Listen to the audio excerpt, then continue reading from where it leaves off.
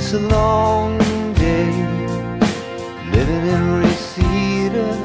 There's a freeway running through the yard, and I'm a bad boy. Cause I don't even miss her. I'm a bad boy for breaking her heart.